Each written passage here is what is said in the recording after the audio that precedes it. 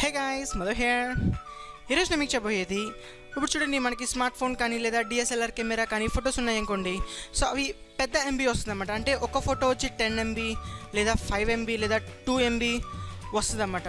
So ఇలా రావడం ద్వారా మనకి ఎక్కువ ఫొటోస్ ఉన్నాయనుకోండి మన ఫోన్ మెమరీ అనేది గమ్ముని ఫుల్ అయిపోవడం జరుగుతుంది. అలాంటప్పుడు మనం ఏం చేయొచ్చు అంటే ఒక దానికంటూ ఒక యాప్ ఉంటుందన్నమాట. సో ఆ యాప్ ఏం చేస్తుందంటే క్వాలిటీ తగ్గించకుండా ఆ ఎంబీ ఎంత ఎంతైతే సైజ్ దానికి ఉందో ఆ సైజ్ని తగ్గిస్తుంది అన్నమాట సో ఇది ఎలాగనేది ఈరోజు మనం చూద్దాం. సో ముందుగా మీరు ఫోటో అండ్ పిక్చర్ రీసైజ్ అనే యాప్ని డౌన్లోడ్ చేసుకోండి. కనబడుతుంది కదా ఇక్కడ మనకి? సో ఇక్కడ మనం ఏం చేయాలంటే సెలెక్ట్ ఫొటోస్ అని ఉన్నాయి కదా దాని మీద ఒకసారి క్లిక్ చేయండి. క్లిక్ చేసిన తర్వాత మీ గ్యాలరీ ఓపెన్ అవ్వడం జరుగుతుంది ఇక్కడ.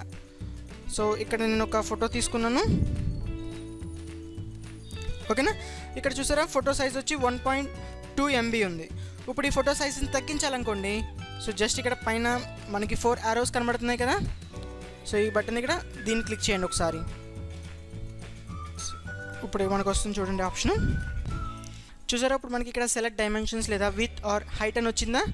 ఇక్కడ మీకు కావాల్సిన రిజల్యూషన్లో క్లిక్ చేశారనుకోండి సో ఆ రిజల్యూషన్కి ఈ ఇమేజ్ అన్నది కంప్రెస్ అవ్వడం జరుగుతుంది అనమాట మనకి క్వాలిటీ అన్నది పోదు. అంటే మీరు ఎక్కువ అంటే three sixty four into six four six forty eight పెట్టుకున్నారనుకోండి so అది కొంచెం తగ్గుతుందన్నమాట. సో అలా కాకుండా మీరు one zero two zero into one eight two three లేదా one double zero into two one three six so ఈ రిజల్యూషన్లో పెట్టుకున్నారనుకోండి మీకు క్వాలిటీ అనేది అలాగే ఉంటుంది ఎంబీ సైజ్ మాత్రం తగ్గుతుంది అనమాట సో ఇక్కడ నేను వచ్చి one zero ninety two into one nine double four select చేసుకుంటున్నాను.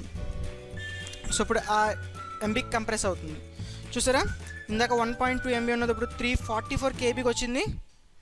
సో ఇలాగనమాట. ఇప్పుడు మన గ్యాలరీలోకి వెళ్ళి చూద్దాం ఎలా వస్తుందో.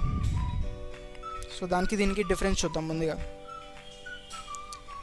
ఇది వచ్చి ఒరిజినల్ ఇమేజ్ చూడండి ఒరిజినల్ ఇమేజ్ ఎలా ఉందో.